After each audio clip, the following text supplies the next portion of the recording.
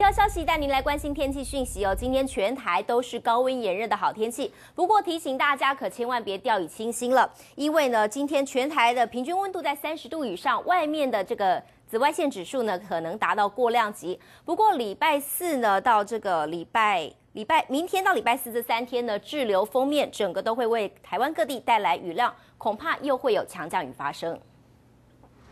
即便高温飙破了三十三度。可爱的绿袖眼不畏高温，在植物园的一丛水竹芋上摘取果实，成为摄影家捕捉的小明星。同时，夜鹭、亚成鸟也有昆虫可以进食。星期一，全省都在三十到三十四度的高温，紫外线格外的强烈，民众外出要注意防晒，补充水分。不过到了晚上，滞留封面就会影响台湾地区，特别在西半部地区还有宜花这个范围呢，在周二到周四这段滞留封面影响期间，也有可能出现局部大雨的现象。那也要提醒大家提防这种伴随着瞬间大雨、雷击跟强阵风等现象。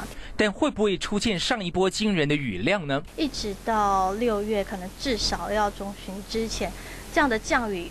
都不排除，只要在梅雨封面在台湾附近，这种比较强降雨的状况都是有机会发生的。这波滞留封面要到星期五才会北台，即便下雨，这个星期的气温都是闷热的形态。记者涂洪恩、李正田台北报道。